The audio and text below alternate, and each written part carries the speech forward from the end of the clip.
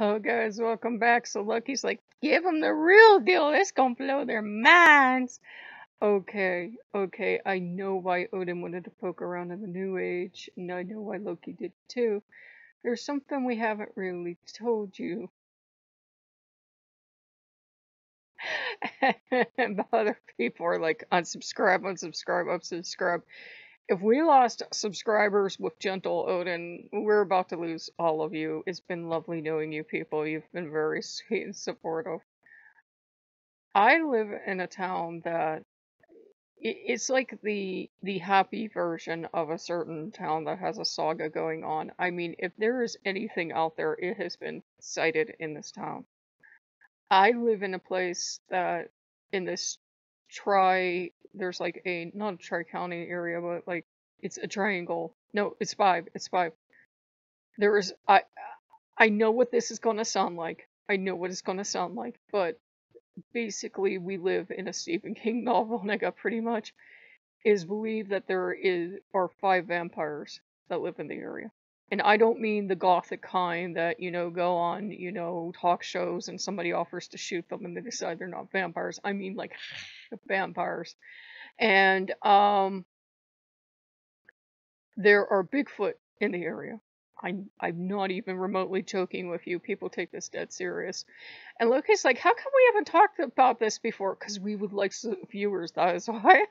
And you know, there are UFO sightings in the area, and we've we've had them. And I thought, well, maybe the government's just testing stuff. But I've also seen like all this other crazy stuff like fairies and everything. And Loki's like, we're opening the door. They get to see it all. And we have just seen some far out stuff in this area. And, you know, as we were doing this, guys, new age thing. I I meditate all the time, so this just accelerated it. Um, this guy might have been joking around. He might have made all this stuff up and think, ha ha ha, these these silly New Agers believe in UFOs. We we had some interesting interesting visitors that had been here in the summer, and I was like, do I need to go back on medication? Loki's like, no, you're fine.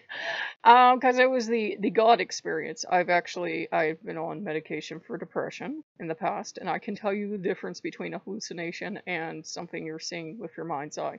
You know a hallucination when you see it, and it's like, oh, that's not real. It could still startle you, but you know the difference between something you're seeing because you're on interesting medicine and something that's, you know, on, say, the spiritual spectrum, is what we're saying.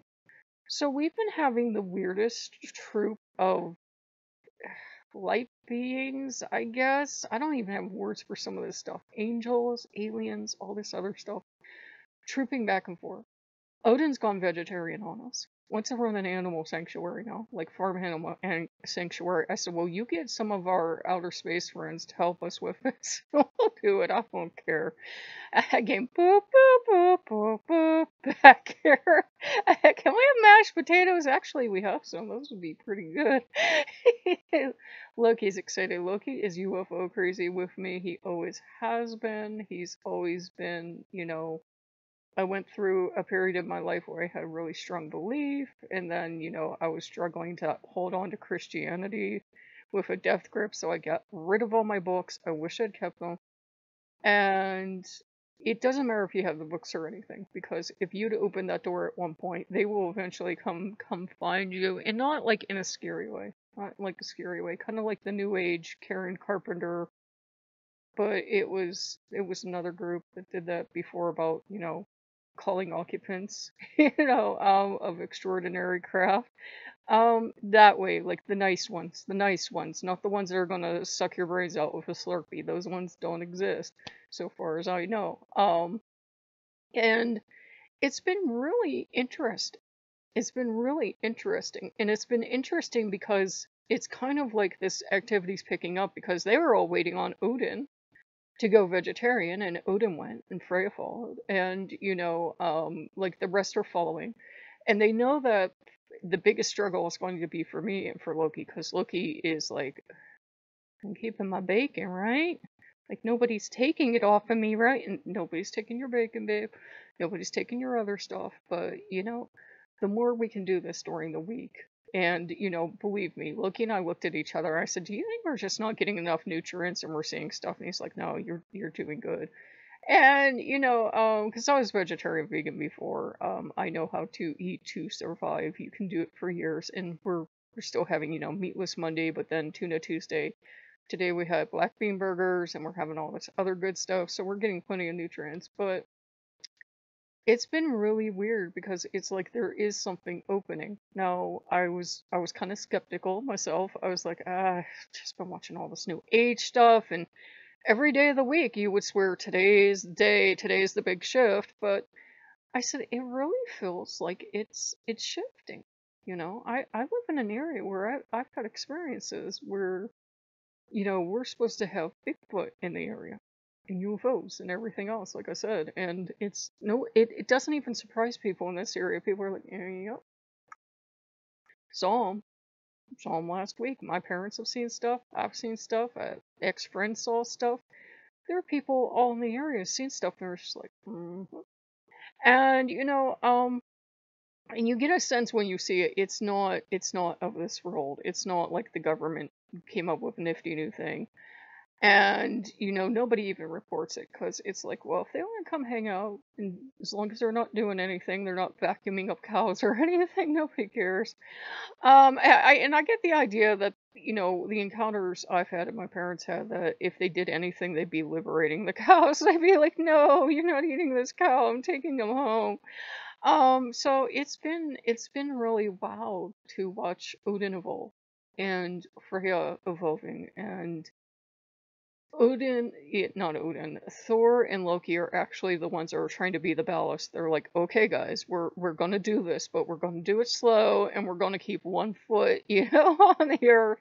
Just don't go flying off into space, and you know nobody can reach you again. So we are trying to to stay grounded, to stay grounded, to not just float off into space we're remaining skeptical if there's a expensive course, you know, attached to something. We don't investigate that, but you know, it's just been it's been it's been far out is what it's been. And no, I'm not going to the gas station and getting a little edibles in case you're wondering.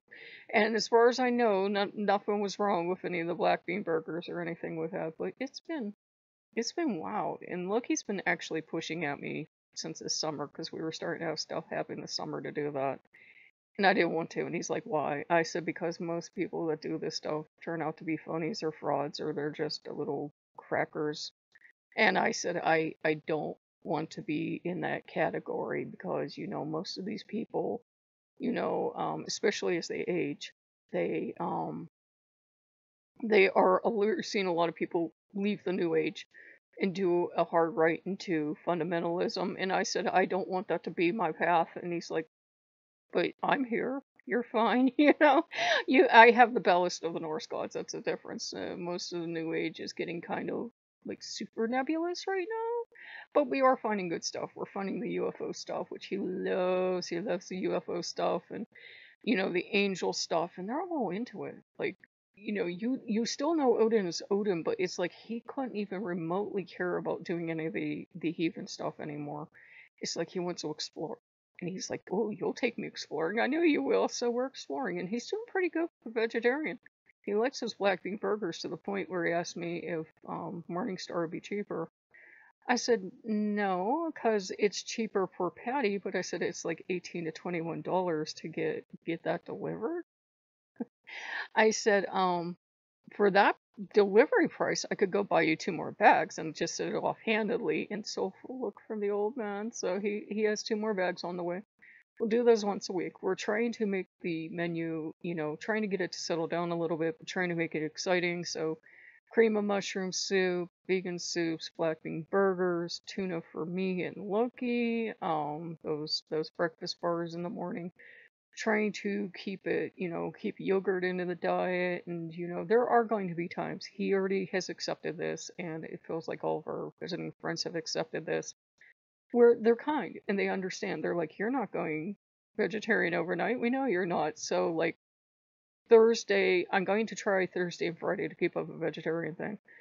But the weekend has to be my release spell. And they're okay with that. They're like, "Hey, you're doing it five days a week, where you weren't doing it one day a week." you know, they're like, "Yay, you're you're you're making it." So you know, that's the plan: five days a week veg, and then Saturday and Sunday we can, you know, have turkey or chicken or ham or something, whatever's left in the house. And if we start to go every other week and we I'm still thriving, then I'll be fine with that too. But you know, we are concerned. We're watching my health, but yeah, we're having everybody come visit. I had I had the weirdest encounter. I've had like ghost encounters. Oh my god. I had so many strange things happen. okay, it's like keep keep going, keep going. I've had ghost encounters in my life. I've had I swear I had a Bigfoot encounter a year or so ago. And those ex-friends, that guy was like into UFOs and he was into Bigfoot and everything, but there was just something really strange about that cat. Not like friendly alien trying to be a human, but just weird. Not like the good folk either, like far out, man. Like somebody made an imitation of a human and didn't do a very good job of it. Him and her, like I always would tell uh, Loki, I said, I expect them to just open their human suits and velociraptors to pop out. I they don't just they don't strike me as human, and I I don't ever have that feeling off of any other people. I'm like they don't strike me as human. Maybe he's one of the king vampires for all I know. I don't know. Heck, he'll be coming to see you, and I oh my god, no, that would be scary. So if you guys like what you see and you don't want to unsubscribe, we already lost three people uh, over vegetarian Odin. Here go the rest of you. Mm, if you like what you see, like, comment, subscribe. We will see you guys later. But yeah, we were supposed to talk about them evolving, but they definitely are evolving into that, into being into all that. So there you go. That's what they're evolving into. So we will see you guys later. Bye bye.